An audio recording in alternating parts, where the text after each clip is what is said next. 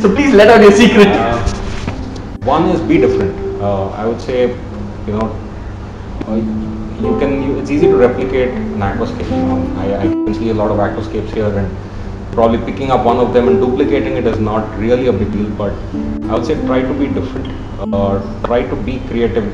The concepts are pretty much the same. You know, there are split scapes, there are triangular scapes, there's iwagumi, and all that. But try to be different. Use different textures. Use different rocks.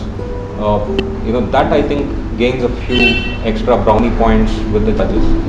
Right. Uh, second is I would say you know choose your plants well. Understand, know your plants well. Understand how these plants grow, and based on that, look at placing them in different parts of your aquarium.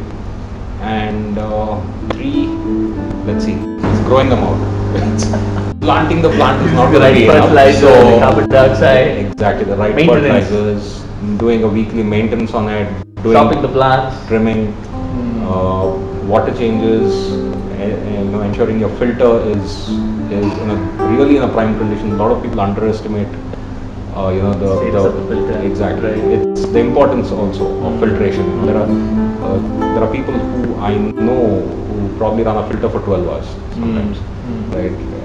It, that's not the right way. I mean, you got to keep your filter in a top condition to keep your Very important. your plants, everything, your plants, your fish, everything depends on how good your filtration capacity is, or you know how well your filter is established and set up. And yes, of course, trimming, the grooming, you, and yes, minor tweaks is something which I do every aquascape. So it doesn't necessarily turn out the way I wanted. So that is a, a, a key secret actually, wherein uh, even in fact the last year's competition, the tank, there were a few key pieces of driftwood which are actually placed right at the last just before the photographer's take. That made all the difference, perhaps. Yes.